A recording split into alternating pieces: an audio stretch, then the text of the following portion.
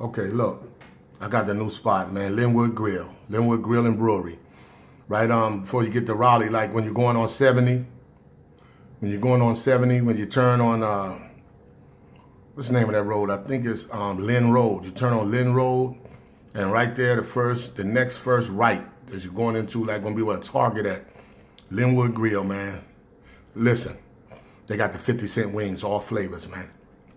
I remember I was on here one time talking about Buffalo Wild Wings. They used to be the highlight of my Tuesdays, man. You know what I'm saying? I couldn't wait to get off work to go to Buffalo Wild Wings to get wings for 50 cents. Then went up to 60 cents, and I thought that's crazy.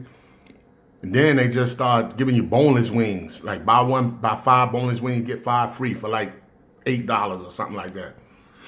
Nah, this spot right here, Lynnwood Grill and Brewery, Monday night, basketball starting to come on. Yo, this place is un. As far as when I went out there one Monday night, they had a nice, respectable crowd, man. It wasn't packed. So I'm trying to tell y'all, if y'all have nothing to do on Monday night, you want some great wings, excellent wings, man, y'all need to go out here to Lynnwood Bar and Grill, man. You know what I mean? Matter of fact, they might need a DJ in there. Somebody needs to go in there and talk to them. And uh, they might have a DJ on Monday night for a little while, or something. But anyway, Lynnwood Bar and Grill, all 70, you know what I'm saying, right before you get to Raleigh.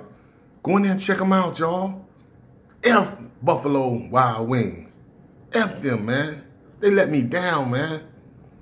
Lynnwood Bar, Grill, and Brewery Company. Google it. Lynnwood Grill, man. Monday nights. All day, 50 cent wings. Can't take them out. That's the only key. You got to eat the wings there.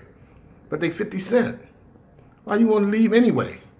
All right, y'all. DJ shout them out. Peace.